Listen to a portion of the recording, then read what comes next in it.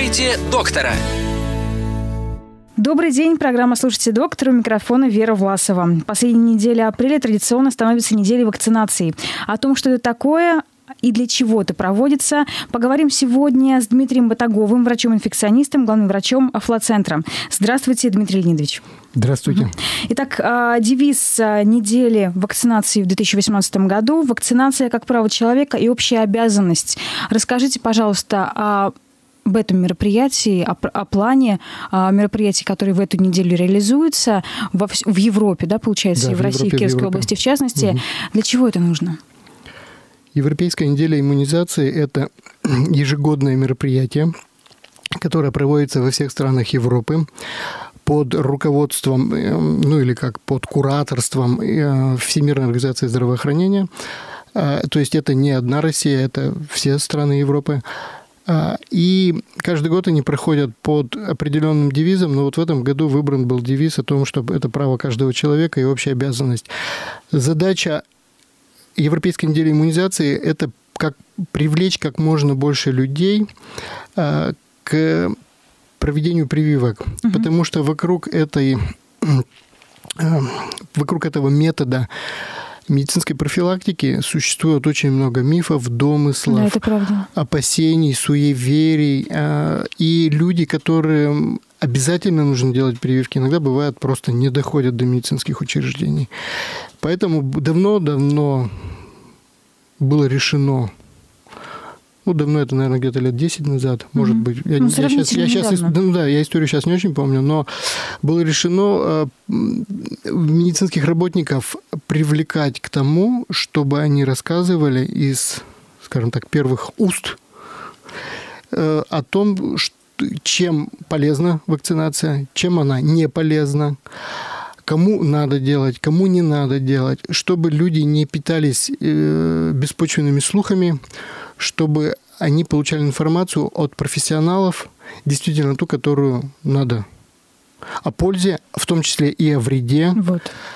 А, и ну, чтобы не было суеверий, а чтобы была нормальная, достоверная, проверенная информация. И чтобы те, кому надо делать прививки, они шли на, на вакцинацию. Дмитрий вы затронули очень важный вопрос, как мне кажется, что не только о положительных, но и отрицательных качествах и свойствах прививок мы сегодня с вами поговорим, да? и, я надеюсь, чуточку попозже. Давайте еще немножечко обсудим девиз а, недели вакцинации а, «Право и обязанность». То есть право делать прививки и обязанность, как я понимаю, делать прививки. Да. А, не все, далеко не все, и мы с вами за эфиром это обсуждали, считают, что это обязанность человека. Поясните, пожалуйста, в чем важность именно того, чтобы следовать некоему календарю прививок, да, и проводить данные мероприятия для себя, для своей семьи? Значит, по поводу сначала права. То есть э, в каждом государстве в европейском точно, угу. есть нормативно-правовой акт, который называется «Национальный календарь прививок», который утверждается правительством данного государства. Ну, в Российской Федерации это Министерство здравоохранения в лице правительства. Вот. И в этом нормативно-правовом акте, а в Российской Федерации еще принят федеральный закон об иммунопрофилактике инфекционных болезней. То есть у нас даже на уровне федерального закона законодательство предусматривает mm проведение прививок. Так вот, в нем гарантируется, гарантируется право людей на получение прививок. То есть на защиту от инфекционных заболеваний, которые являются социально значимыми. То есть государство гарантирует бесплатную защиту от социально значимых инфекционных заболеваний. То есть у нас, у каждого гражданина Российской Федерации есть право на защиту. Но помимо прав, конечно, у нас есть и обязанности. Так по, защи... по предотвращению инфекционных заболеваний. Значит, рассмотрим простой бытовой пример. В детском садике воспитатели родителям, мамам, как правило, говорят постоянно, не таскайте больного ребенка, ну, не водите да, больного да. ребенка с соплями, с кашлем в детский садик. Почему? Оставлять ребенка не с кем, казалось бы, чтобы он не заразил других. Вот мама, которая ведет больного ребенка в детский садик, ну, потому что ей не с кем сидеть. Она имеет право водить ребенка в детский садик. она берет садик. на себя ответственность. Она берет на себя ответственность. С других детей. И она так-то этим не выполняет обязанность по предотвращению инфекционных заболеваний, потому что от ее ребенка может слечь вся группа. Ну, может. И в группе объявят карантин. А потом, может, вообще во всем садике объявят карантин. И другим мамам будет детей тоже оставлять не с кем. И встает опять вопрос. Надо будет соблюдать права этой мамы или все-таки подумать о правах и других мам? Здесь, наверное, от количества нужно отталкиваться, да? Ну, конечно. То есть, если мы думаем о правах трех мам, то, наверное, права трех мам, они будут больше чем, ну, то есть гораздо интереснее защитить права трех мам, чем права одной. Угу. Вопрос, конечно, философский, но на государственном уровне все равно предусмотрено так, что если у человека есть социально значимая инфекционная болезнь, то он обязан соблюдать противоэпидемические мероприятия. Угу.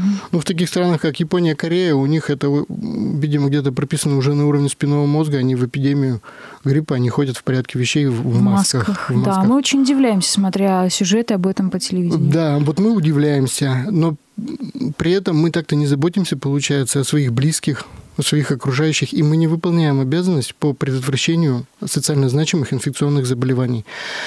Маска – это один из методов защиты, а прививка – это другой метод защиты. То есть мы не надеваем маску, мы не делаем прививки, мы вовремя э, не дезинфицируем помещение. Да, прошу прощения, немножечко угу. остановлю вас. А, то есть прививка является методом Метод... а, того, чтобы мы обезопасили вокруг себя окружающих. Да, не только себя, но и вокруг себя. Вокруг себя, да. И вокруг себя. Есть, например, такое очень социально значимое заболевание, как менингококковая инфекция. А, она, вспышки ее происходят в организованных коллективах или в детских, в дошкольных, или в школьных, в загородных лагерях, или еще в армии. Угу. Как она проявляется? Она проявляется очень тяжело для человека, который ею заболевает. То есть в форме в виде менингита, менингоэнцефалита или еще хуже это менингококковый сепсис. Что это?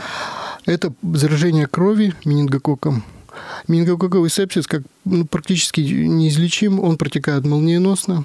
То есть человек э, с утра может почувствовать насморк, першение в горле, а утром следующего дня его уже не будет в живых. Быстро.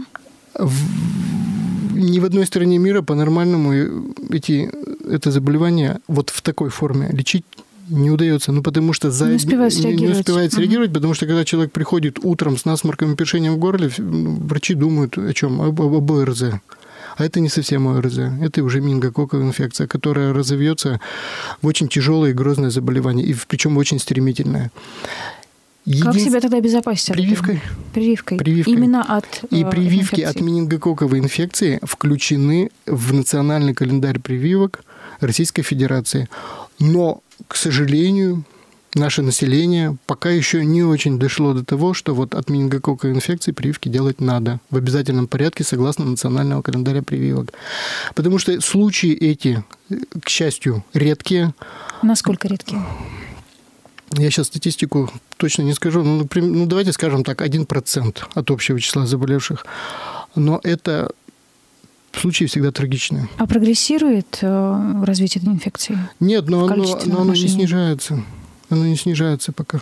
То есть вот мы теряем людей каждый год, причем, что самое это страшное, мы теряем людей не во взрослом возрасте, то есть, ну, уже, а мы теряем молодежь, мы теряем вообще детей маленьких.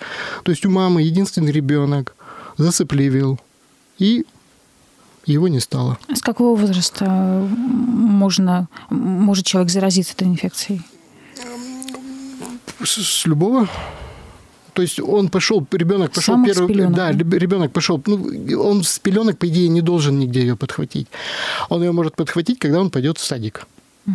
в организованную детскую группу.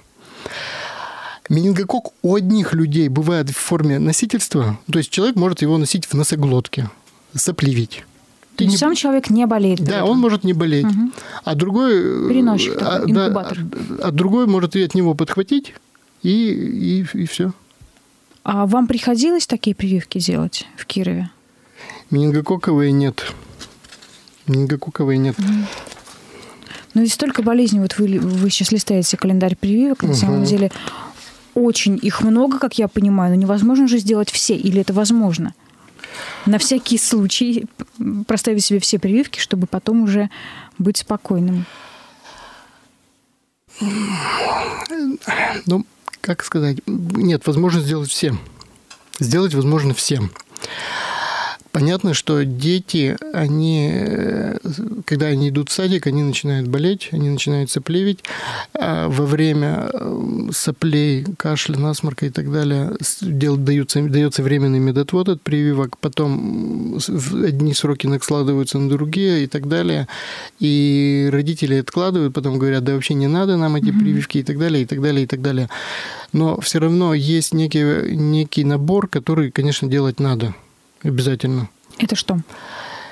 Это дифтерия столбняк, ну и в детском возрасте это коклюш, это э, туберкулез, это полиомиелит, это обязательно полиомиелит, это вирусный гепатит Б.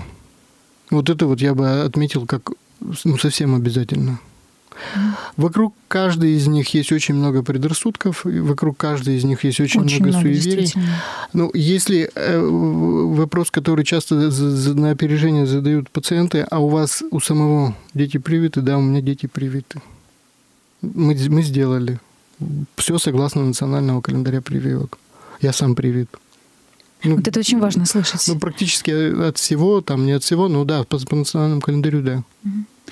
Насколько хватает этих прививок? То есть действие до конца жизни или несколько лет? Нет, у каждой, у каждой прививки есть э, свои сроки действия.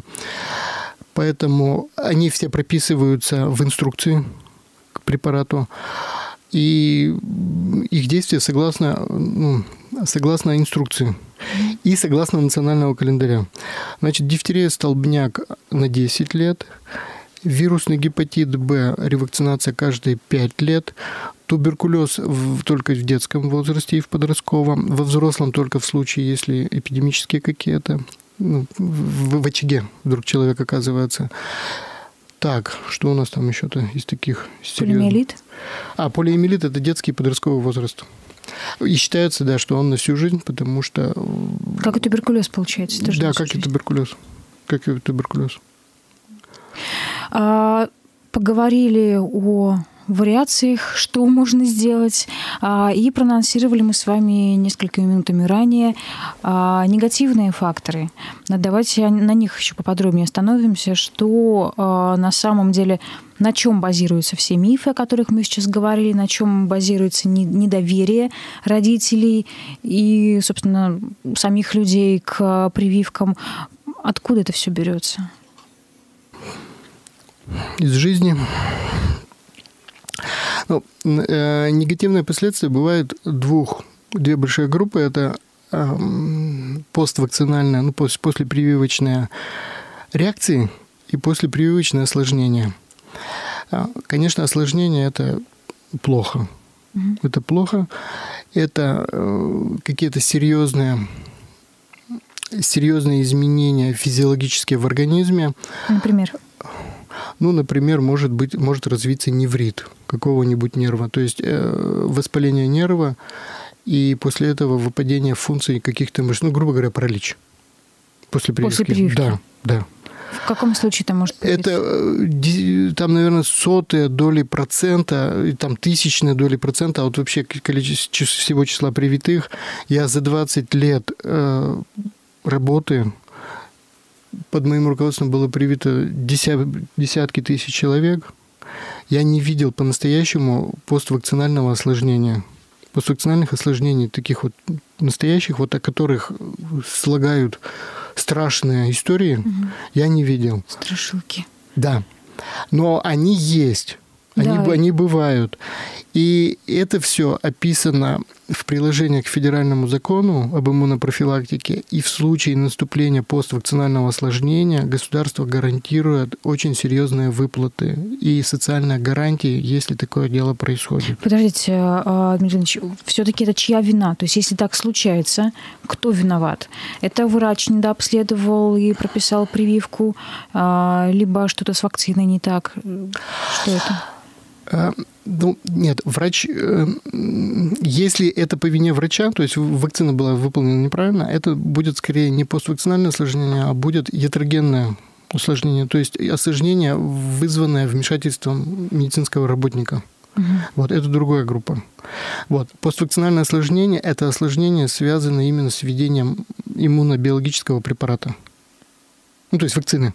Введением вакцины. Да, да, То есть да, где-то да. нерв потревожили, задели? Нет, нет, нет, нет. Это реакция организма в виде отторжения своих собственных нервов на введение вакцины. Вот так вот сложно. Угу. То есть ввели вакцину, организм на нее отреагировал неадекватным образом, ну, то есть не так, как ожидалось. Вот. И эта реакция выразилась в том, что организм, ну, грубо говоря, иммунная система слетела с катушек, и она начала отторгать свои собственные нервы. То есть это такое качество организма, конкретного организма? Да, но это качество организма именно из-за вакцины, из-за такой вот вакцины. И, соответственно, эта вакцина, она не совсем безопасна. То есть или клинические испытания были как-то не так, или еще что-то. Но в этом уже разбираются не на уровне даже региона, это уже передается на уровень федерального центра, и там уже люди гораздо умнее, чем mm-hmm. просто врач в поликлинике, они разбираются. Производителям вакцины делаются предписания, они вносят коррективы, эта работа ведется. То есть это нельзя говорить, что это все ну, так, ну, Никто, никто не этим не занимается, это все очень серьезно. Угу. И проблема поствакцинальных осложнений в медицинском сообществе известна. Я, но я хочу подчеркнуть, что это крайне-крайне-крайне-крайне редко. Это тысячная, не знаю, там десятитысячная доля процента. То есть реальное осложнение. Если говорить про вторую группу, это поствакцинальная реакция. То есть это небольшой подъем температуры, это может быть покраснение вместе, вместе инъекции, это ну, может быть какой-то небольшой насморк, это боль, тоже не, небольшая вместе укола. Вот.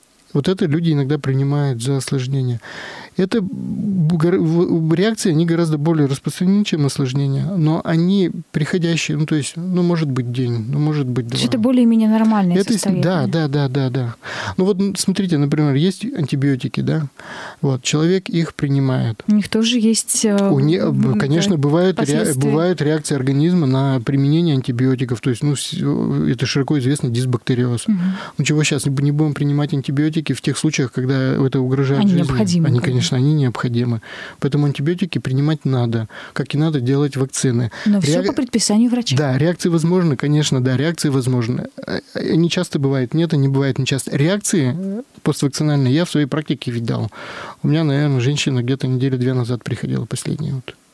Там была небольшой подъем темпер... был небольшой подъем температуры после прививки. Как ну, устранили? Да, она выпила таблетку жаропонижающую, на следующий день у нее все прошло. Угу. Но она будет привита от клещевого энцефалита. И целое лето она может его не бояться. Вот. Постепенно переходим к клещевому да. энцефалиту. А, несмотря на непогоду за окном, а, были уже случаи Были. в этом году э, укусы клещей э, отдыхающими, так понимаю, садоводными людьми. Э, я слышала, неоднократно слышала, что все-таки прививки от всех болезней, переносимых клещами, лучше всего делать осенью, то есть до начала сезона. Вот мы с вами до эфира начали общаться, вы говорите, что ситуация не совсем такая, как я это себе представляла. Поясните, пожалуйста, все-таки, когда можно и нужно у нас в Кировской области угу. делать прививки от болезней, переносимых клещами? От клещевых инфекций есть только одна прививка, она от клещевого энцефалита. Остальные клещевые инфекции, к сожалению, при помощи, при, э, при помощи прививок от них не защититься, только от энцефалита. От клещевого энцефалита есть разные схемы применения. Опять же, зависит от самой вакцины. Вот. Э, могу сказать сразу, что вакцины взаимозаменяемы, независимо от производителя. То есть? Ну, то есть, например, иногда делают импортные вакцины, потом через три года приходят, ревакцинацию делают наши отечественные. Uh-huh. Вот. Но мы не будем никого рекламировать. Я большой разницы не вижу ни между тем, ни между тем. Да, давайте ну, лишь да, скажем угу. о современных, не знаю, инновациях да, в, в, российских, угу. в российском производстве, насколько наши вакцины действительно соответствуют или, может быть, уже опережают по качеству заграничные, как на ваш взгляд? Она соответствует, она полностью соответствует. На, на мой взгляд, она даже лучше. Она, она сделана на основе наших штаммов. Угу. Клещевого То есть адаптировано уже конкретно ну, да, она полностью под наши под потребности нас, да. организма. Дело в том, что восточный э, вариант э, клещевого энцефалита, он тяжелее, чем западный. Вот. Там вакцины сделаны на основе западных штаммов. То есть такая лайт-версия, ну, да, да, да, да, можно так сказать. Вот, поэтому я так-то сторонник отечественных. Но против нашей вакцины говорит то, что я как-то не видел э, вариант для детей. То есть наша вакцина для взрослых. Вот именно против энцефалита. Угу. Некоторые наши медицинские центры в Кирове, они, опять же, не будем называть, они, дел, они выполняют э, для детей вакцинацию от клещевого энцефалита, но э, у них, я насколько знаю, импортный. Угу. Импортный вариант. Вот. Я на выставке подходил в декабре к производителям вакцины, э, это НПО «Микроген», спрашивал их, почему они не могут, ну, они руками развели, сказали, что ну вот пока пока не... То есть на стадии разработки? Ну, как понимаю. бы да. Угу. Усиленно разрабатываем. Будем а, надеяться. Да, все-таки по времени, когда по прививаться? Времени. Есть вариант, когда можно начинать осенью и подкреплять весной. Второй вариант – это делается весной. А промежу... То есть две прививки – осенью и весной? Да. То есть если человек никогда не прививался вообще. Вообще никогда. Да, надо делать дважды. В первый год дважды. Промежуток должен быть, ну, никак не менее двух недель. В идеале должен быть промежуток не менее месяца между первой и второй. Затем подкрепляется через год однократно а потом... Подождите, вы только что сказали, что сделать осенью, подкрепить весной. Да. Так, ну, нет, не, менее, а, не, не, менее, не менее, а не более там да, речь, да. речь не шла. Вот. А, третья, эта третья прививка делается через год, а потом раз в три года подкрепляется. Ну, это такая стандартная схема. Может быть, где-то есть вакцины там с другими схемами, но вот это классика. Угу. Прививка от клещевого энцефалита защищает. Это, по большому счету, единственный нормальный, самый простой и наиболее безопасный метод защиты от клещевого энцефалита, от заболевания, которое, конечно, имеет очень тяжелые и страшные последствия. Каков процент того, что он защищает? Он очень высокий. Ну, я не скажу цифру 100, но насколько мне доводилось общаться с нашими на протяжении всех этих лет с нашими врачами из инфекционной больницы, они придерживаются такого же мнения, что тяжелых летальных форм клещевого энцефалита после прививки по их статистике нет. То есть либо инфекция совершенно не коснется человека, либо, соверш... либо минимально. Либо ну, в какой-то совсем легкой форме. А что касается других болезней, э, инфекций, которые приносятся клещами, как от них защищаться? Возможно ли защищаться вообще? От них, да, от них возможно защищаться. Вообще от них защита очень простая. Там надо профилактический курс антибиотиков. И все. После укуса. После укуса mm-hmm. антибиотики. Mm-hmm. Ну, то есть это то, что прописывают в медцентрах после обращения да. в медцентр. Конечно, в идеале надо клеща сдать. Конечно, посмотреть. сразу же. А Сколько а... времени еще, напомните, пожалуйста, от укуса до сдачи должно пройти? Ну, считается, что не более трех дней. Три дня? Ну, там То потом есть, свойства клеща принципе, как бы... Это более чем достаточно, мне Это кажется. более чем достаточно. Наш центр гигиены очень оперативно сейчас работает. И они очень хорошо сейчас выдают результаты, поэтому это все реально. Надо только не приложить некоторые усилия.